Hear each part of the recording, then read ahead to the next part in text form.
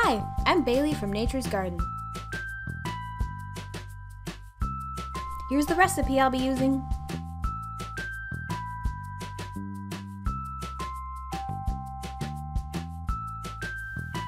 I've already combined my soaping oils and lye mixture together. Bear with me while I beat the soap batter to bring it to trace.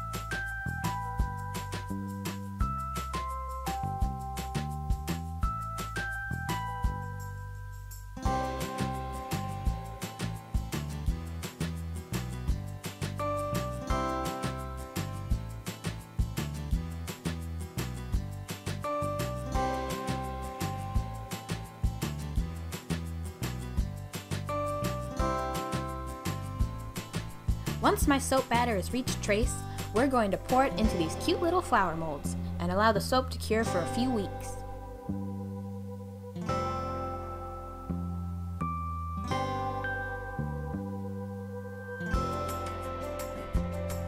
Here are the soap results. Aren't you excited?